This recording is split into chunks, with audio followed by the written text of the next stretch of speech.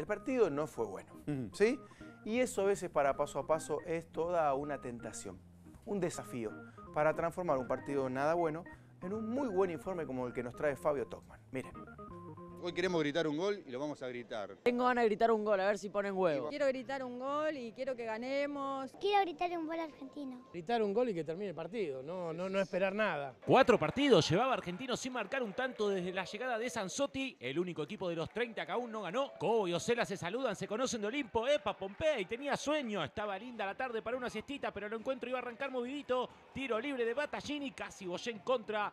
Bien por Sarnica abajo. Ojo, decía Ocela. Argentino suma 14 sin ganar. Newell 7 partidos y quizá estas imágenes describan el mal momento de ambos. Battaglini primero y Mancini después se regalaba la pelota. Mateo, único punto alto, sacando en este caso un centro rasante de Lucas Rodríguez, en todos lados marcando, anticipando, dando una mano en defensa, una fiera 37 años para el santafesino. La frutilla del postre era esto, tiro libre de Maxi Rodríguez, aparece Diego Mateo de cabeza, adentro pero no.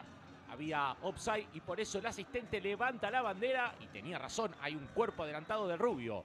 Lucas Rodríguez va a buscar una pelota y parece tirar del codito a Ignacio Escoco que no iba a tener una buena tarde. 31 minutos, Piovi se equivoca, atento Mancini, pero vuelve a mandar el centro. Le queda al Cachi Celaya, tiene el primero, pero tapa muy bien Pozernik justo ante un ex Rosario Central. Ojos bien abiertos para el arquero para que se lamenten en la platea. Escoco algo fastidioso hablándose conocer a la distancia. ¿Qué le pedía al DT? Que no retroceda tanto. Pasaba mucho a la zona los volantes y cancha chica amontonábamos mucho y no terminábamos haciendo ni una cosa ni la otra. Otro tiro libre de Piovi, de nuevo el mismo error. Argentinos desaprovechaba ocasiones y del otro lado Cela con este gesto representa su disconformidad y así se moría el primer tiempo. Y encima en el segundo el bicho iba a superar a su rival a tal punto que tuvo las mejores chances como esta de Lucas Rodríguez. Pero se va alto, a prestar atención, fíjense la manito de Ocela. ¿Dónde está el cuarto árbitro? Dice. Lo busca hasta que aparece Gerardo Méndez Cedro y parece decirle dale que quiero hacer el cambio. A todo esto Tevez miraba la discusión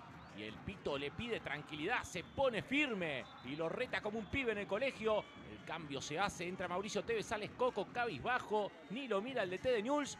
Y seis minutos más tarde ingresa Formica y la reacción con Daniel Mancini es diferente. Mientras Mateo seguía disputando cada pelota como si fuera la última, en este caso con Joaquín Lazo, mucha lucha, pero poco juego en el Diego Maradona. Atentos a otra perlita. Lateral de Joaquín Lazo. Se adelanta tanto que Popey dice mal sacado. Es para Nubes. Ahí, ahí le indica Emanuel Insúa. Pero otra vez adelante Pompey se ve obligado a repetir la acción. Increíble pero real. ¿Qué pasó con dos laterales mal sacados en el mismo partido? ¿En la misma jugada? ¿Alguna vez te pasó? No, la primera vez. Eh, se adelantó mucho de argentino, se equivocó el de, el de Ñuble, así que todo de vuelta.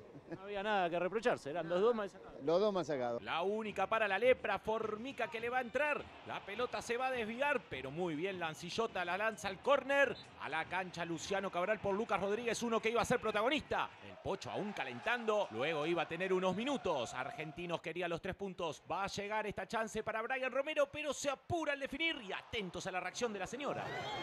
Mete gritito, sufría la doña en la platea. 31 del segundo tiempo, momento crucial. El yerro en la salida de News. Le queda Battaglini centro y Pompey sanciona una mano de Nehuen Paz para que la señora se descargue. Parece querer separarla del cuerpo apenas el exjugador del Boys y el encargado Luciano Cabral. Excelente abajo, Pozernik.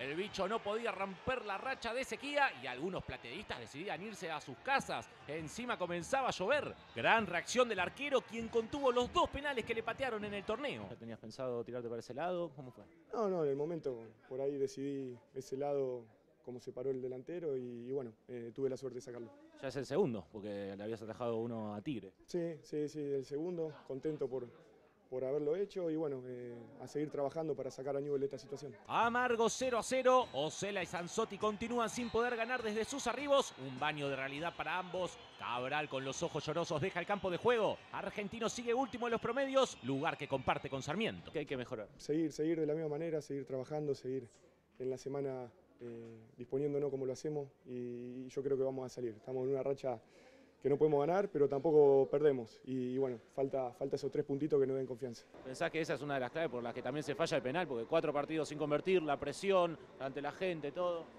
Eh, no, el penal se falla porque es una de las posibilidades. Una vez que agarrar la pelota, el arquero también tuvo la virtud de atajarlo. pero nosotros nos vamos tranquilos de que hicimos todo lo posible, o sea, jugando bien, jugando mal, dejamos todo para hoy conseguir los tres puntos y me parece que es el camino para salir adelante. Repetiste del equipo por primera vez. ¿Te vas conforme? No, no. Hicimos un partido desde que estamos, creo que eh, muy malo. Involucionamos y vamos a tener que trabajar mucho y eh, para, para empezar a encontrar los resultados que la institución merece.